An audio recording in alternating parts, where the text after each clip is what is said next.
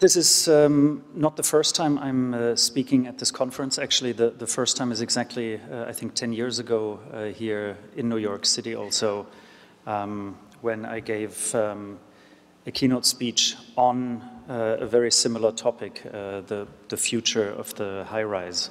And uh, back then I presented a, a series of projects, um, some of which never saw the light of day, some of which exist today um, and stand. Um, and for, for, a long time I've been very interested in this typology, um, but not uh, to simply embrace it uh, in its uh, bare existence, but really to ask the question, um, how could we think differently about the skyscraper and what kind of uh, prototypes could we create um, to give this um, building type uh, a new sense and a new life.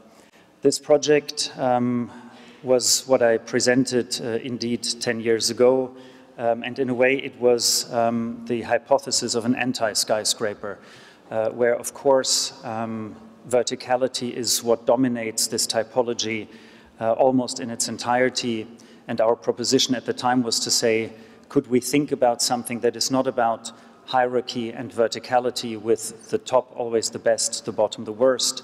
And could we actually um, think of a skyscraper as a different spatial typology um, that would uh, uh, kind of join the needle back into itself, convert it into a loop of interconnected activities. And this is the building uh, as it stands uh, since 2008, um, completed from its exterior uh, since 2010, um, completed from the interiors and broadcasting live since 2012. It is uh, China's national uh, television station, CCTV, in Beijing.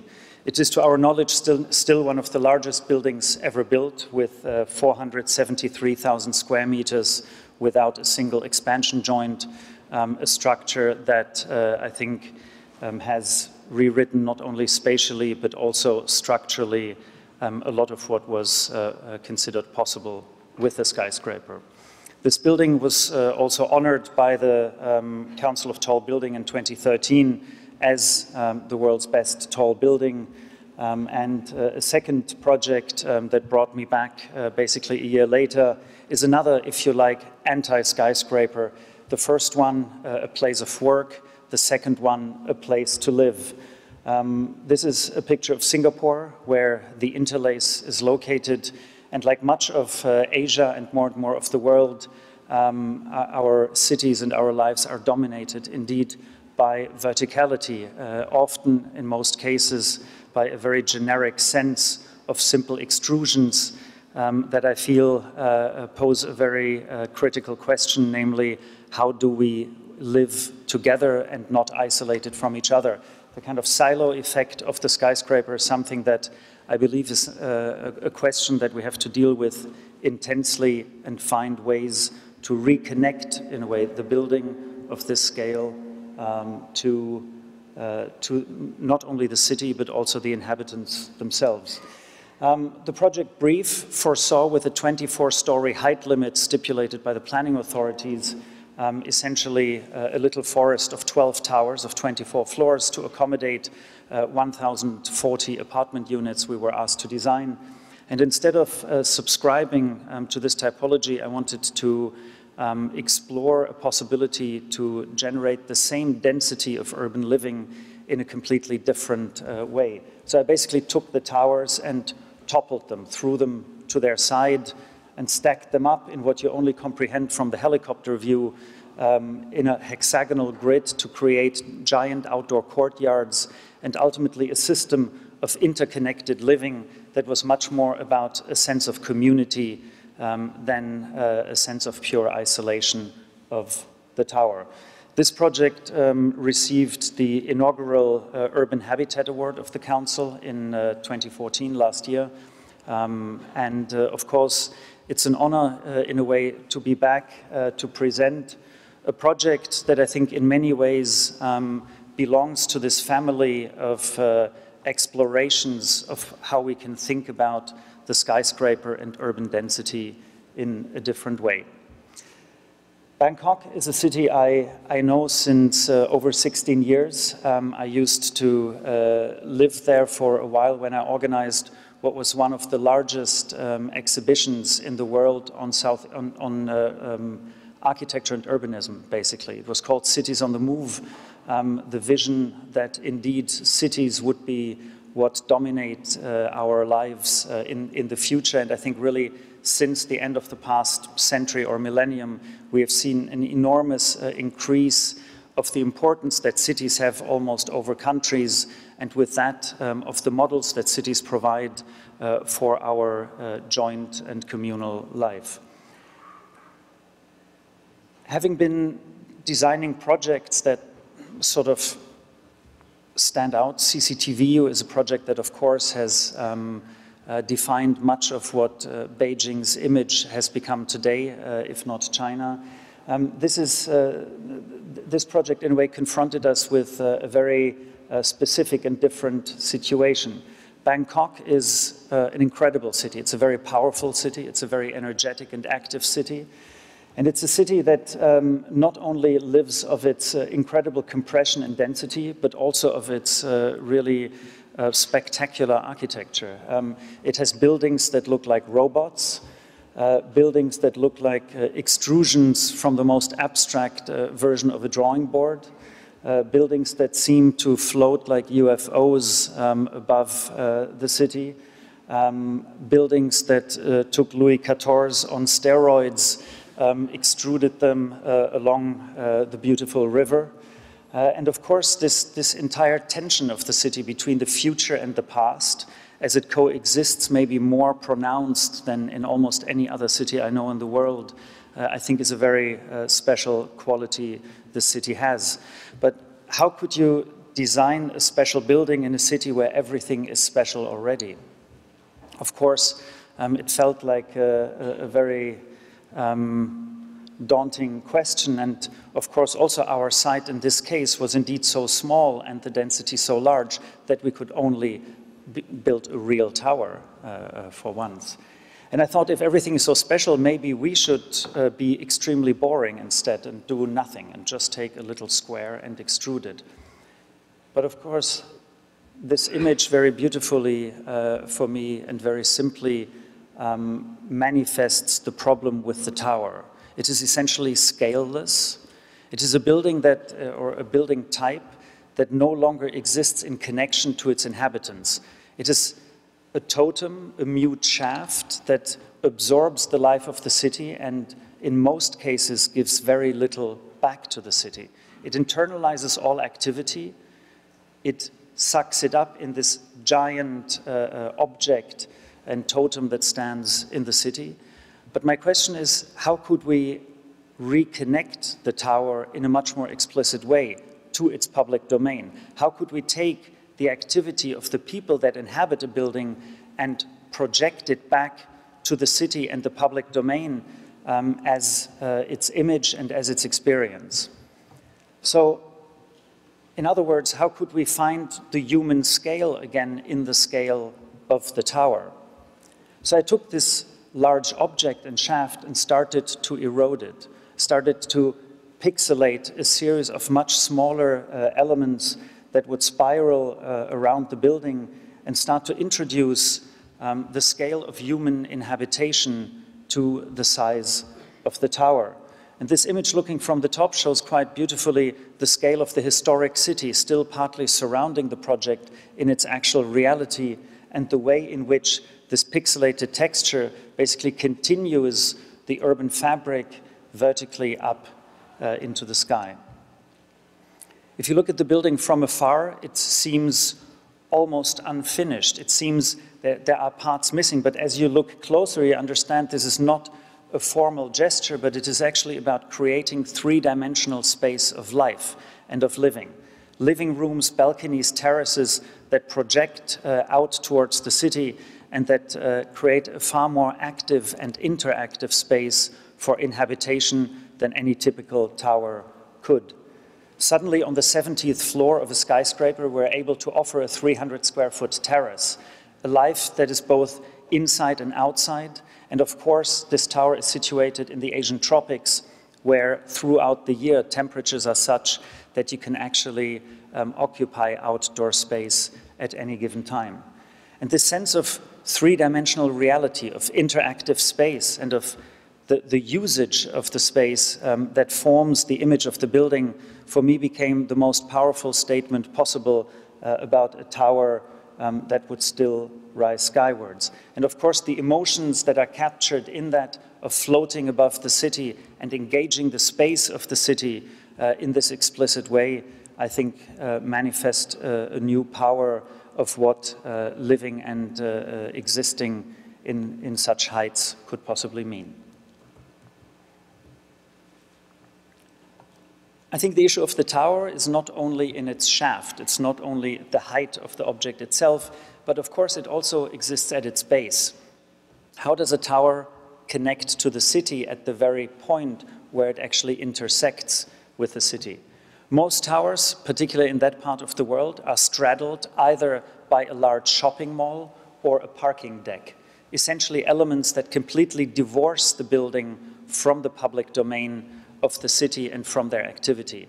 And I wanted to not only dissolve the tower, I also wanted to dissolve this heavy element at the bottom and continue um, uh, the way in which the tower engages its public environment. So instead of a single large space, I was looking for a way to split out the base, to separate out part of its volume and actually open up a space between those two elements. So the pixelated texture actually continues in what you could almost describe like a valley of terraces between a smaller uh, cube-like building and the main podium of the tower. And the sense was really that instead of creating a podium that repels the city or excludes the city, we would create a multi-layered uh, active space that would engage uh, the space of the public and continue it into the building. We were also thinking of a transition from the extreme uh, onslaught of, of, urban intensity uh, that exists in these cities and to transition from that into a more tropical um, and livable environment inside this, what we could essentially call an outdoor atrium of urban activity and gardens. And you see some of the uh, views as you approach the building from um, the SkyTrain station uh, adjacent to it, uh, and a sense of communication that suddenly emerges um, within these spaces, uh, carefully programmed uh, terraces with cafes, restaurants, all kinds of outdoor activities that would celebrate um, the space of the public and uh, the space as an interactive domain. This is the small building that we separated out. The, the cube, you can see um, a, a, large scaffold on its sides, in a way a reference um, to the many um, billboards and, and, scaffoldings that exist in the city that I've always admired, here used to support uh, a large um, uh, uh, uh media screen that faces the city, that faces the, the train, but also by compressing um, the required program in these two volumes, we're able to liberate a large part of the site and give this part back to the city as a public domain, as a public space that uh, in itself is activated by the various uh, components around it. This huge scaffold acts like a stage tower, basically, with lighting installations and sound um, to host uh, a range of activities um, in this kind of pocket of, of public activity. This is how the tower um, almost stands today. However, this is still one of the uh, computer-generated uh, uh, images.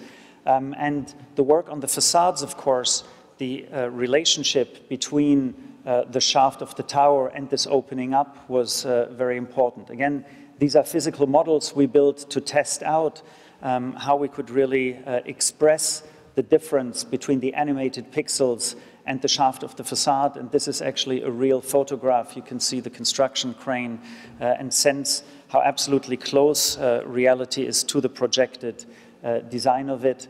You can also see that um, the facade of the main tower is not simply a dull, flat curtain wall, uh, but in itself a three-dimensionally articulated uh, um, uh, texture, which we call cassette facades, um, in these almost bay window-like moments that in themselves uh, become uh, an explicit engagement of the city.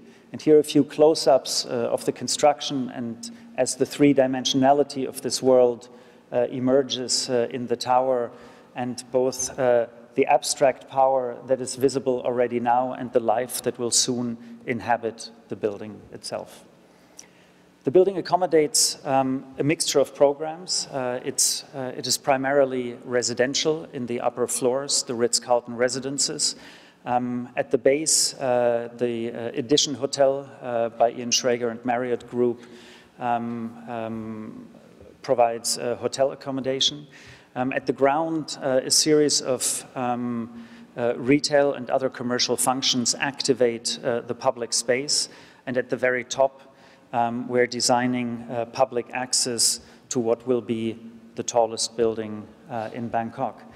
Um, this is a matrix of the different floor plans. As you can see, this pixelated texture in a way activates uh, each floor in a unique and special way. So there's not the typical repetition and boredom of the tower where each floor is exactly the same as the other one, but where it is really um, a diverse uh, living environment for the inhabitants of the building.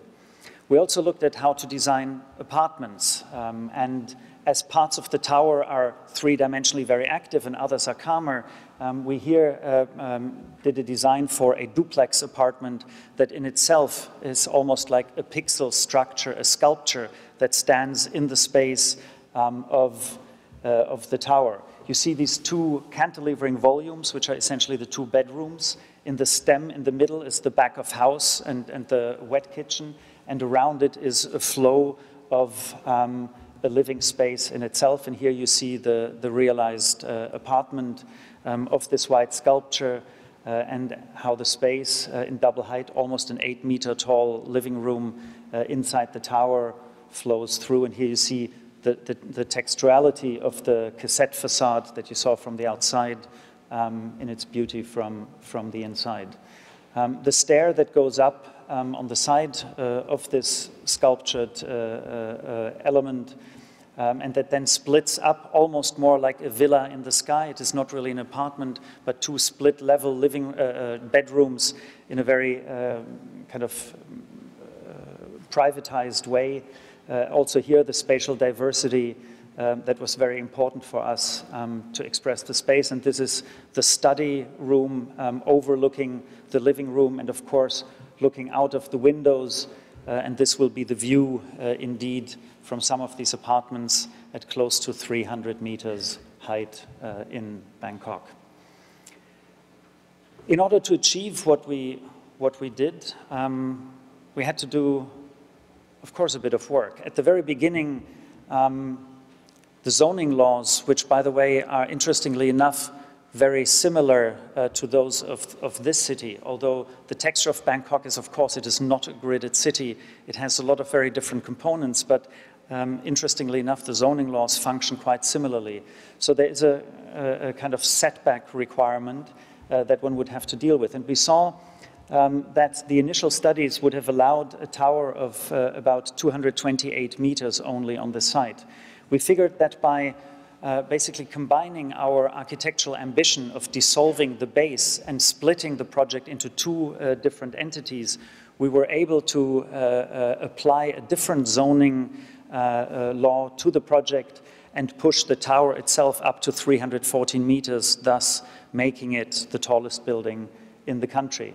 And here you can see, in a way, the governing setback line um, from the center of the main road to the tower.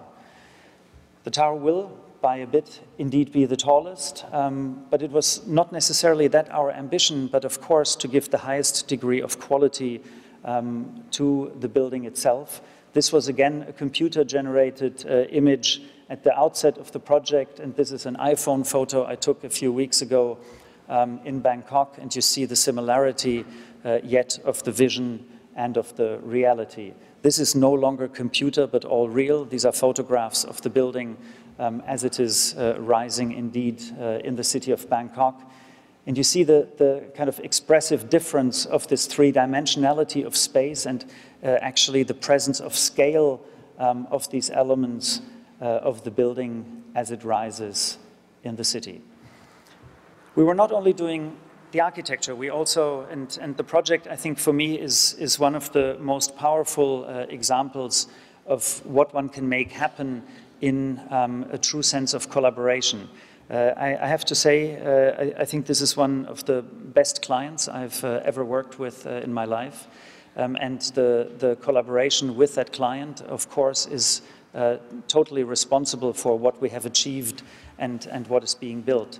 And, and that really, uh, I think, expanded um, the thinking about the project away from a piece of development uh, or a piece of architecture to something that was about the city and about a vision of what we could give this incredible city that is uh, his home, but one of my uh, favorites. The name of the project, in a way, embodies that in, in quite a powerful way. Mahanakhon is the second uh, part of the Thai name for Bangkok, and it actually stands for Great Metropolis. And we took this name because it was really about embodying the power of the great metropolis of the city and, in a way, uh, manifesting it uh, in this project. You can see the design itself is also, it's a missing pixel uh, inside the logo. And we, we said this pixel could be a space that can assume all kinds of things to happen inside of it, like in the building. So all the brands that actually go into the building from the Ritz-Carlton residences and others um, that would indeed uh, become part of what this uh, project manifests as a reality. Um, the client brought Dean & DeLuca to Southeast Asia for the first time and uh, we, we put a cafe into our sales gallery, which became so incredibly uh, successful that it was the beginning of a whole uh, national franchise of this brand. Um, some of the best restaurants in the world uh, have already opened in the project. Um, Vogue has uh, launched their first ever lounge inside, and really with this sense of programming and um, uh, defining not only the physical space, but ultimately also the activities in the building, I think we've made uh, a very significant contribution to what story the building will ultimately tell.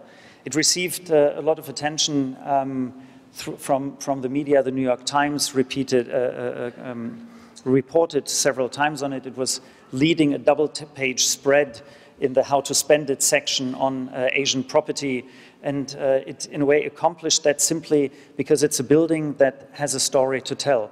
A story to tell about um, uh, the idea how public life can not only uh, um, em embrace a building, but how a building itself can project the message of its public quality and, and meaning to the city back out into the urban realm. Of course, the very top of a tower is always important. Mostly these days, and we see many examples where the top is occupied by a decorative piece, an antenna that makes a 300 meter building be 500 meters high, or a kind of sculptural something that again tries to add identity instead of add function. We thought we keep this building very straightforward. We chop off the top at exactly the right height, and we make uh, a roof terrace that is uh, accessible to the public in what will be one of the largest uh, and tallest 360 degree viewing platforms actually in the world. The viewing platform itself will be uh, comparable to that of Empire State uh, to give you a sense of scale. And these are the buildings you see and their, their public viewing decks highlighted uh, where you realize that actually height is not always um, equal to accessibility. Um, the, the, idea of uh, adding an observation deck to this building uh, seemed uh, not only obvious but incredibly exciting uh, because again um, it allows us to further uh, mesh the building with the public domain and allow people to experience um, the excitement that the tallest tower in Bangkok will create. We have two levels of interior observation deck. We have a um, uh, a sky bar uh, that takes up uh, the, the, concept of pixelation also inside the building so that when you enter the building, you can still comprehend its three-dimensional ambition. And finally, at the very top, a space unfortunately a bit dark, the two levels, of a gallery level of the observation deck, um, the sky bar itself, and uh, the open rooftop, uh, again with complete 360 degree views all around. Here you sense the pixels of the skybar element, uh, here inhabitable to the public, and at the very top, um, the, the roof, which we felt We should not only be on top of the tower, but really add a little feature, if you pay attention to the very top here, that almost slides out. And uh, we created um, an element uh, spanning the entire width of the building that projects uh, out from the building as a single sheet of glass um, that will uh, ultimately float 310 meters above the city below. We believe, of course, this will be a moment uh, not only for the iPhone generation, um, but certainly uh, for much fun to be had um, if you can uh, feel vertigo of that scale. The building has been growing step by step. Um, we are very excited uh, to see it come alive. This is the media wall on the cube uh, facing the um, SkyTrain station uh, and a few more images um, of the building and the pixels as they rise. This is, this is, the pixelated structure of the small cube building and the tower um, as it rises above its multifold context of historic references, of tight urban density, and of a building um, that will soon uh, start to live in this incredible city. Thank you.